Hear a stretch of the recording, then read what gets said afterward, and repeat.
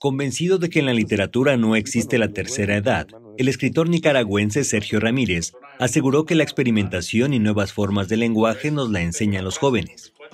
El Premio Cervantes de Literatura 2017 presentó su antología personal 50 años de cuentos 1963-2013 en la Feria Internacional del Libro de Guadalajara, donde compartió su experiencia como cuentista y escritor comencé como cuentista y yo lo que quería era ser cuentista, nada más que cuentista.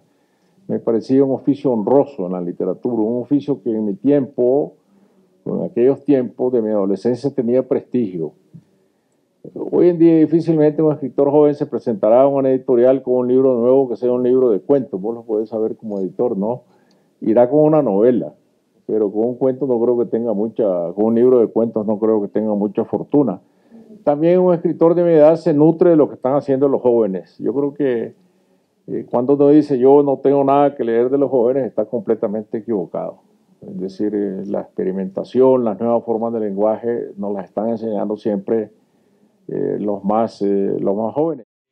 Jóvenes presas de los ídolos, de la amistad traicionada, de la soledad que imponen los exilios, caen en las trampas de su propia obsesión. Los personajes de esta veintena de relatos cargan el peso de una historia que es a la vez la de América Latina y la de la humanidad entera. Notimex.